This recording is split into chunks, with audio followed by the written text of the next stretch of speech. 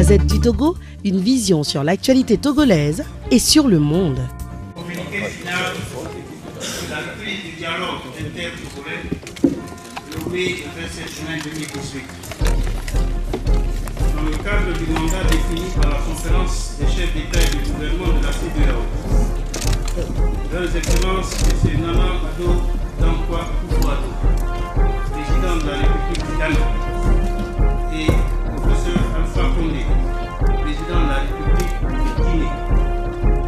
rencontré ce mercredi 27 juin 2018 le prenant du dialogue inter-togolais. Les deux facilitateurs ont pris acte des positions et préoccupations exprimées par chacune des parties. Ils ont salué les efforts déployés par les parties prenantes togolaises en dénouement heureux de la situation. Ils ont exprimé leur satisfaction pour l'esprit qui a prévalu au long de discussion.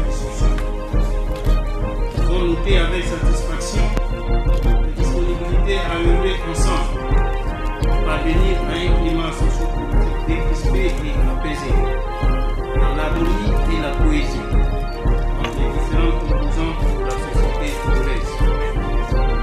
Les facilitateurs invitent instamment tous les partis politiques et toutes les forces vives togolaises à s'abstenir de tout acte et de tout agissement susceptible de constituer une menace à la paix et à la stabilité du Togo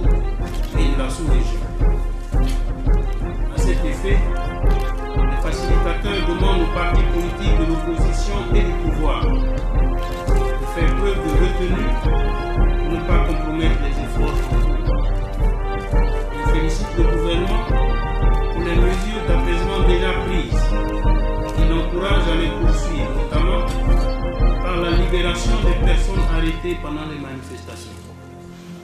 Les deux facilitateurs invitent par ailleurs le gouvernement à étudier la possibilité d'étendre le droit de manifester à l'ensemble du territoire national dans le respect de l'ordre public et des lois en vigueur, afin de garantir la liberté de manifester ainsi que la sécurité des biens et des personnes.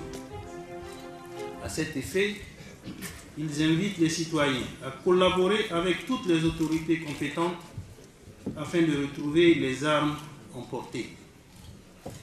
Les deux présidents se félicitent de l'accord entre les partis pour la poursuite des activités du Parlement conformément à la Constitution au-delà de l'échéance prévue. Durant cette période, les préparatifs des élections restent suspendus, étant entendu qu'il est souhaitable que ces élections se tiennent avant fin novembre 2018. Les deux chefs d'État exhortent les parties prenantes à maintenir la dynamique de dialogue et de concertation pour un règlement pacifique, notamment la recherche de consensus. Les deux facilitateurs examineront en détail les différentes préoccupations exprimées et feront rapport au prochain sommet des chefs d'État et de gouvernement de la CEDEAO, fait à Lomé le 27 juin 2018.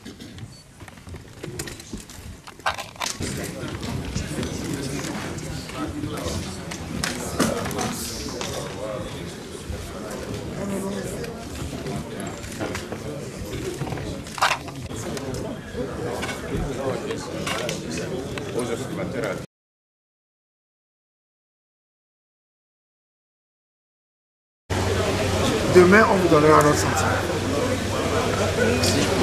Voilà.